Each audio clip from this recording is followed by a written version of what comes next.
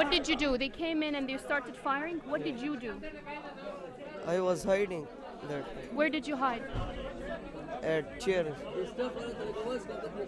And madam, you're the mo- your side's mother. Can you tell me what happened to your son? I'm also teaching in APS Army Public School, right? I was taking my class and then I received a call. He called me and he said I'm injured. I shocked when I listened. Uh, I asked him what happened to you. He said terrorist attack on our school. And he said to me that we were in hall and the, some people came. The auditorium home. Yes, uh, people came and they started firing. And all the people, all the students, they're scared. They were getting down to hide their self, but they couldn't. All the people, they were crying. I was listening. And as a mother, I cannot express my feeling as well. And I thank to Allah that He is, He is well now. I have seen so many dead bodies as well. Kids, class 9, 10, they were they were crying. Their heads, eyes, everything were damaged I cannot say anything what they did, but I'm thankful to Allah. My son, he is okay now.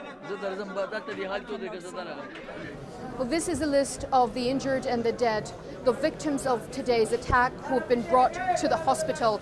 Many parents and loved ones have been standing in front of that list, looking at it closely in a desperate attempt to find out what happened to their loved ones.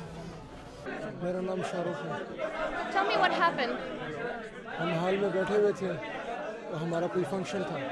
اور اس کے function تھا اسی دوران ہم جیسے بیٹھے بھائی کا جو بیک ڈور تھا وہ ٹوٹ گیا۔ دہشت گردوں نے توڑا اور وہ اندر آ کے انہوں نے فائرنگ شروع کر دی۔ کوئی دس منٹ تک فائرنگ شروع ہوئی اور ہم بعد میں جب جیسے اٹھے، ہم نے دیکھا تو آدھے سے زیادہ ہمارے جو کلاس فیلو تھے، وہ زخمی بھی تھے، وہ فوج بھی ہو چکے تھے۔ اور انہوں نے ہمارے سامنے ہماری میڈم کو جلایا اور پھر اس کے بعد کمانڈرز والے آئے۔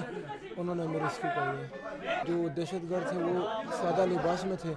بڑی بڑی گاڑیاں تھیں، بڑے بڑے بال تھے اور شوز ان کے بلیک بڑے بڑے تھے۔ بس، اور ان کے پاس بندوقیں بہت یعنی زیادہ اسلحہ تھا ان کے پاس۔ میں نے یہی دیکھا کہ بس میرے کلاس فیلو تھے، وہ ان کو بھی گولیاں لگی اور ہمارے جو دو ٹیچر تھے، وہ میرے آس پاس قریب تھے میرے۔ ان کو بھی گولیاں لگی پیٹ میں اور سینے پر۔ تو میرے خیال میں وہ ایک ہمارے ٹیچر تھے، وہ تو ادھر ہی فوت ہو گئے اور میں نے دوسرے ٹیچرس کا موبائل لیا، اپنے فادر کو سے کانٹیکٹ کیا اور اسی دوران کمانڈوز والے آئے، انہوں نے دروازہ توڑ کے ہمیں جو ہے اپنے ساتھ لے گئے۔